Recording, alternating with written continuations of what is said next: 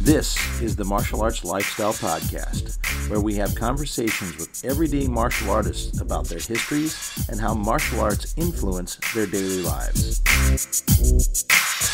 You are listening to the abbreviated version of this podcast, which is the first 20 minutes or so of the show. Please consider supporting the show by subscribing on our Patreon page, www.patreon.com slash malmag, and for about the price of one coffee shop coffee per month, you can get access to four new podcasts each month, one week before their YouTube release dates. You also have access to all of our existing shows, which at this point is about 100 hours of shows for you to enjoy. Individual shows can be purchased at our Gumroad page. That is malmag.gumroad.com. In this episode, I sit down on Zoom and I talk with North Carolina's Dick Harrell. We talk about how he got into martial arts, what it was like studying with Larry Hartsell in the early days, and what it's like to train Muay Thai in Thailand. Sit back and enjoy.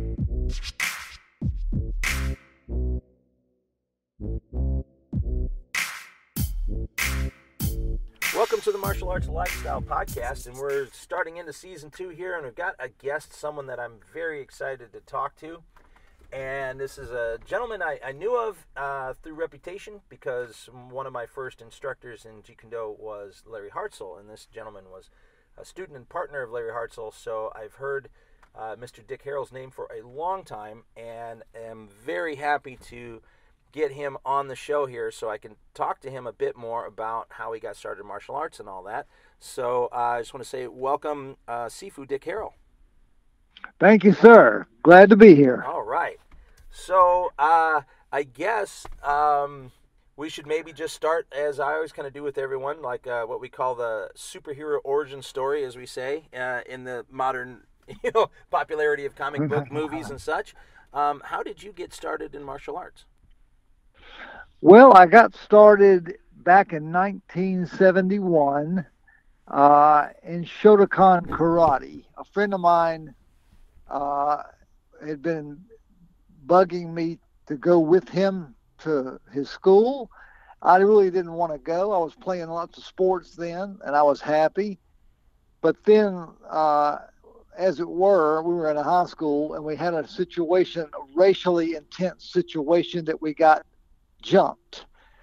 So after we got out of that situation, thankfully, safely, I said, okay, I'm ready to go. All right. And, and this I'm was. Ready to, I'm ready to go back to your school. And this was uh, North Yes. Carolina, right?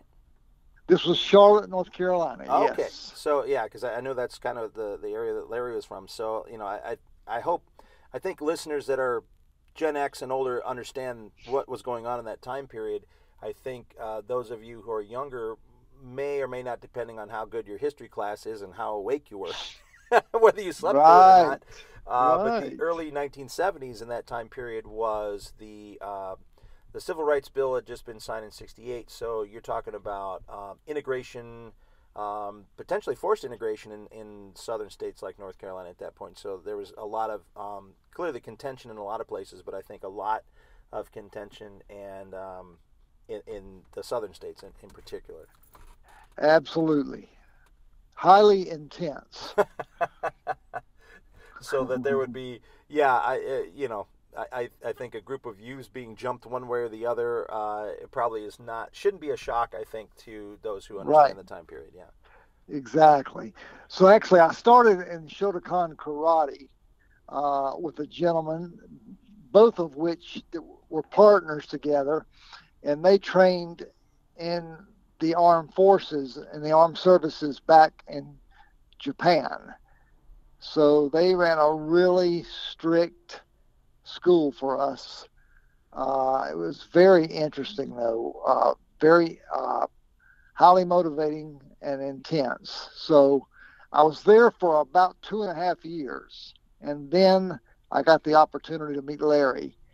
And I knew that he was a, a former Bruce Lee student. And I was very excited to meet him and very nervous to call him and ask him if I could become his student. so that was a pretty big deal at the time. We only had two schools in Charlotte at the time: a Taekwondo facility and my Shotokan gym. That was it. Wow. So I decided I decided to go Shotokan because I liked the hand techniques, is they were more they were about fifty percent each, kicking and punching at that time.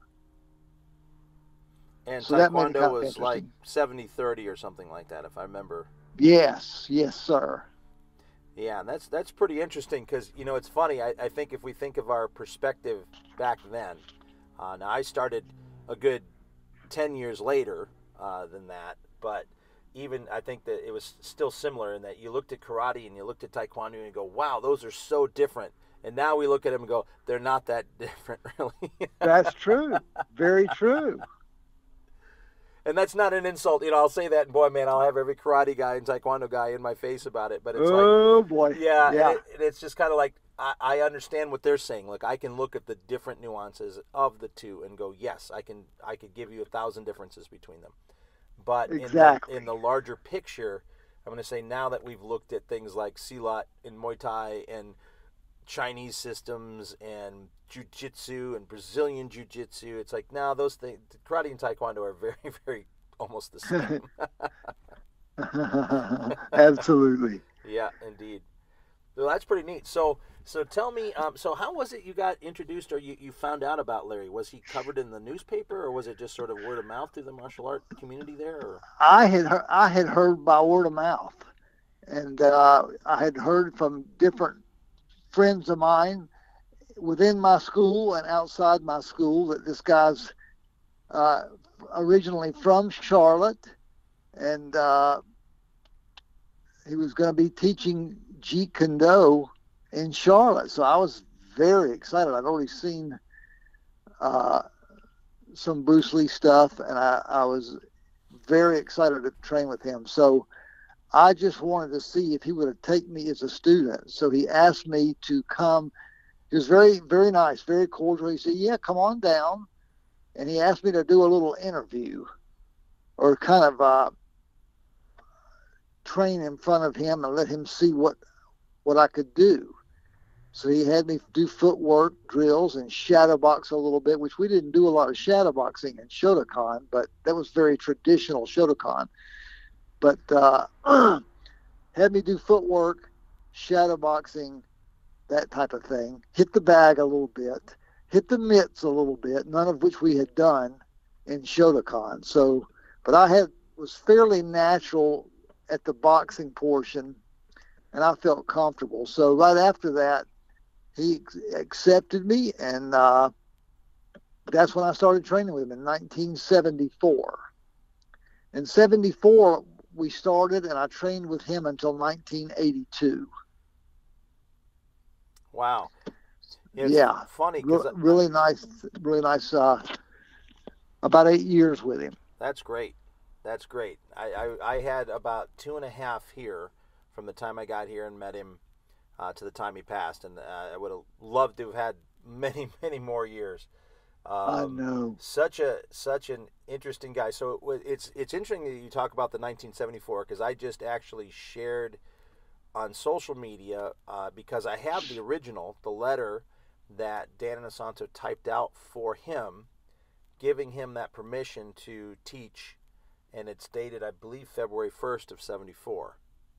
Wow, nice. Yeah, so I, I thought that was that was really cool, and I thought, you know what, I'll, I should share that a little bit to, so people can see it because I, I keep calling it, I think, the prototype of the modern day instructor certification because I don't think people had that type of certification back in the day because you know No, everything, no. everything sort of had a rank, you know, like Shotokan or, or Taekwondo or even Shorin-ryu, like I started in. You'd have Yes. you know the belt ranks and you get a certificate with that belt rank and then there was never a separate one saying okay you can teach. It was always i believe an assumption. Like i think in shorin-ryu it was the assumption was uh, or the unspoken rule was second degree black belt. Once you hit second degree black belt you could go teach you could open a school or, or do whatever on that line. So yes. I think it fell into that thing now with with something like Jeet Kune Do, where there wasn't this ranking like that. So how does one then say, okay, you're able to teach? And I think that's kind of where this idea of instructor instructor certification came from. I, I may be way wrong, but that's just kind of using some logic. I think it makes sense. Yeah. Because you know, even at the time when I was with Larry, there was no formal announcement to me that I could start teaching. So over time, I got that from him. But Right. it, it was in the beginning, there was no admission that I could start teaching the Jeet Kune Do at that point. right? There just kind of Yeah, so that- a point, I along guess, the same way. or yeah, Yes. exactly. And I would hope after eight years, you know a little something. just a, just a little bit. Exactly. Yeah. Yep. So, what was your um, what was your expectation before you'd met Larry, and then was it? Uh, I would say I, I say blown away because that was my perspective. I thought of him as being one way before I actually met him because I'd seen all Yes. these photos of him in magazines where he looked just brutal. I mean, everything Yeah. he was putting people in in these photos, I'm like, oh my god, this guy's gonna be just brutal. And and I thought he was gonna have this deep voice and sound very authoritative and all that. And he, Yes. he wasn't. He's a he's a lot more soft spoken than you are. Wow. Yeah. True. that says a lot. Yeah, exactly. And, and that's just it. Just kind of blew me away when he came in, and uh, it, to me it was a surprise. I didn't even know he taught here at the academy. So I'd signed up, Yeah. And I came in, and he taught a Tuesday morning class. So I came in for this Tuesday class, and it was actually the day I signed up, and I sat there and was stretching, waiting for the class to begin, and I didn't realize that he. I, I saw a person sitting over by Guru's office. I just didn't, you know, stare at him and and whatever. I just knew there was a person sitting there, and that person got up and walked over and started class. And when I kind of looked up and my eyes adjusted, I'm like, oh, wait, I know who this is. And I said, wow, I didn't understand this guy was here and taught here. And Wow. the moment he started speaking, I'm like, wow, he doesn't sound anything like I expected him to sound like. And he was almost Right. shy. And I'm like, okay, this is kind of cool. I know this guy's a total, like, technician. Like, this guy can beat people up if he needs to. I mean, that's kind of his reputation. But I'm like, I didn't expect that he would be so almost shy. And I thought that's kind Yeah. of endearing to me. I mean, I thought that was pretty cool. Did he have the southern accent? Yes. Oh, yeah. yeah, sure. That that that blew me away. But he was from Charlotte, so he had he had family here, brother here, and uh, so I should have expected that. But he was very unassuming. Right. Yeah. Just like w- when I met him, he was very unassuming. It was it was very refreshing for me because he was a, a badass to say the least. Oh, yeah. So it was very nice to, to find him that way. And uh, we trained together quite a bit in those days. He taught, he worked with a, with a uh, sheriff's department. He had some mental health uh, experience as well. So he worked a lot of shifts in the day and would come in and check on us, the day group, and hang out for a few minutes on his lunch. Then he'd go back to work. So that was the way it went with him. He came in to see the day classes, but he taught at night. Uh-huh. I didn't go at night because I had night classes work as well. So we had kind of a group that came, about eight of us that trained in the daytime, and then he had a group at night for the JKD class. So the day the day group was more fighter group. We we all sparred and we all fought, and then uh, the night group was different. They weren't just fighters. They wanted to learn Jeet Kune Do, and so it was nice. It was a nice balance. Yeah.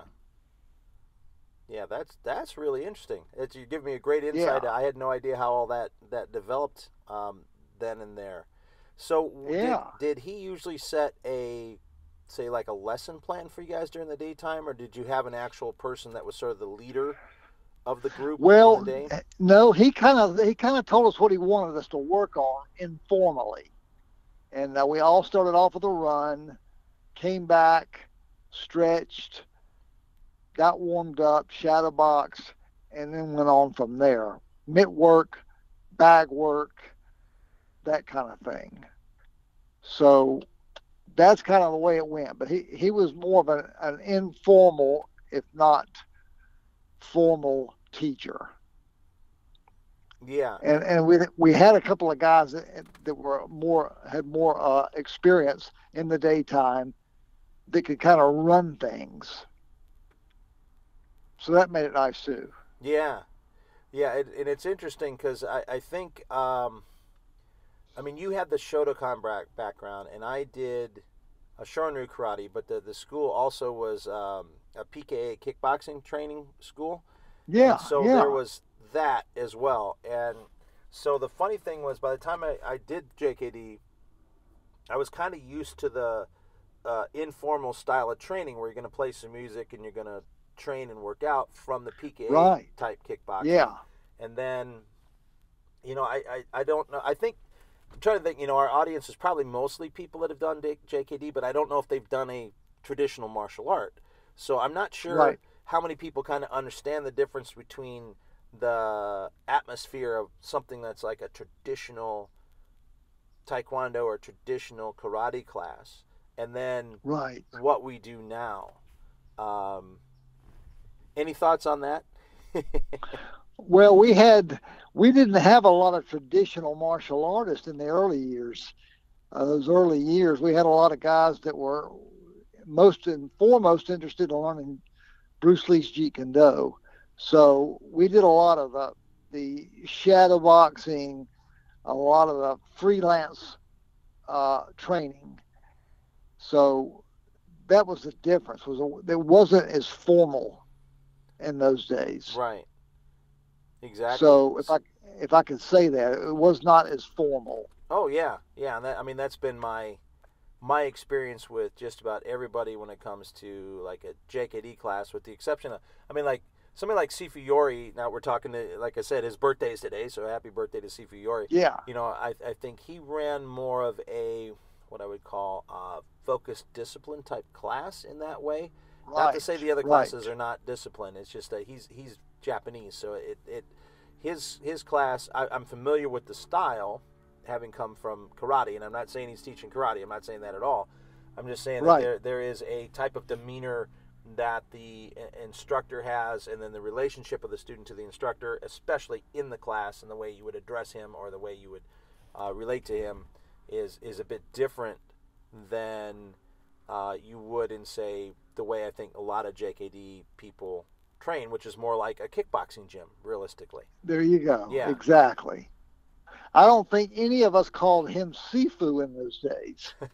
uh, it probably took a couple of years before we graduated to, and maybe Guru said to Larry, that needs to be happening. They need to be addressing you formally. I don't remember, but I'm thinking that might have happened at some point. Yeah, That, Yeah. that he said, I, I want to be called Sifu. yeah. I'm gonna bet But eh, you know that has to do with the growth of people because there's uh, Right. so many people I can that I've met, you know, that have been uh, Guru Dan's students for a long time, and they refer to Right. him as Dan, and that's how they know him, and that's the way he he did it. Uh, in fact, my very first teacher of JKD and Kali was a guy who studied at the Aspen summer camps in the late 70s. He said even at that point in these things, everyone was Dan, Tim Tackett was Tim, Chris Kent was Chris. You know, they right. addressed each other by first names. And I, I Yeah. think, you know, when you start talking about the growth, like when there just all of a sudden becomes thousands of people in your organizations and that, then yeah, you know, that kind of thing can probably potentially get abused where Sure. people are going to start referring to someone like him by first name and then it gives this impression to other people out there that they're close friends and they're not necessarily so i i, I think i get why that had to be done at one point Mm-hmm. Mm-hmm. Absolutely. and it gets it gets interesting there was uh, when i first went to this uh, cambodian uh, kickboxer Omri Ban that you know we've been training with ever since so went down there with uh, Guru Dan, and he introduced me to them as his friend Tim. And I'm thinking, oh, Really? that's very nice. I'm still going to always call you Guru, Yeah, right. Exactly. regardless to whether I'm elevated to friend status or not. I'm going to call Right. you Guru. Yeah. As it should be. exactly. And uh, and Sifu Larry was always Sifu. It, didn't matter where I was at. I was calling Yeah. that. It's like I, you know, it's like I've I've read too much about you. I've got you know, and, and again we be, we became close, but I'm just going to always call you by a respectful title. I just I think you know you've earned that. That's good. You've earned it. Exactly. Absolutely. You know, it doesn't mean that it changes any of my love, affection, or uh, you know, condition of our relationship. It's just that you know you've earned this title, so uh, I'm just gonna call you that. You know, Rick Right. Young even even told me that once. He said, because I kept calling him Sifu. He's like, call me Rick. And I said, well, Sifu, maybe in 20, 30 years, I'll, I'll get used to that and I'll try it. Right Yeah. Yeah. right now, it's just gonna be Sifu. That's it. So Very true. there was a. You know, uh, I'm sorry. Go ahead. no, you- no, you go ahead. I'm sorry. Oh, I was going to say there is. Uh, you were involved, uh, got involved at a very interesting period.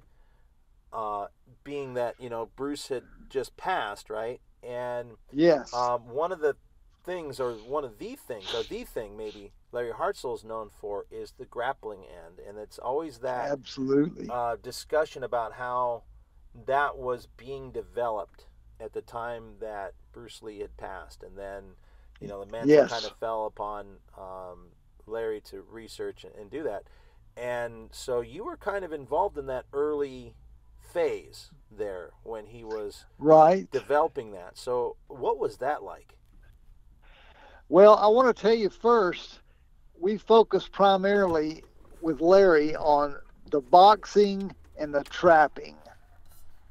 He got very, very good in both to the point that most of the classes would be geared toward boxing and trapping. Uh, but you got to remember, he had not moved to California yet. He didn't move to California until 19, I believe, uh, 82. Mm-hmm. So um, that that changed things considerably. But in the beginning, it was for him just the boxing and trapping for the most part, footwork, feinting, all the, all the boxing aspects of what would then be Jeet Kune Do aspect. I'm So glad you said that. we, yeah, we, we didn't do uh, a lot of a lot of trapping, a lot of grappling yet. I, I, I'm, surprised. I'm surprised to say, but we did not do a lot of traffic yet in, those early stages until he got. And this concludes the abbreviated version of the podcast. Please consider supporting the program by going to www.patreon.com slash malmag and subscribing to the show. You can also purchase this individual episode or any individual episode at our Gumroad page. That's malmag.gumroad.com. Thank you for listening to this episode with Dick Harrell. Coming up next week, what is the intersection of UCLA, Indiana University, and Kali that is good for your brain? That is Paul McCarthy. Our Malmag online store at martialartslifestylemagazine.com has a full selection of Timmy B's brand sticks for FMA and Krabi Krabong. Timmy B's brand now selling in Japan as well. Beautiful Timmy B's brand shirts and Dos Manos shirts are available with new t-shirt designs and more products coming soon. An online course in the Dos Manos method for FMA is available under the courses tab. More courses coming soon. Check out the Places to Train tab to find schools near you and click on the events calendar page to see what seminars and events are happening all around the world. And of course, visit our main page for articles on the martial arts. Music by Jack Al Relic. Martial Arts Lifestyle Magazine and the Martial Arts Lifestyle Podcast are trademarked and copyrighted by TNT LLC.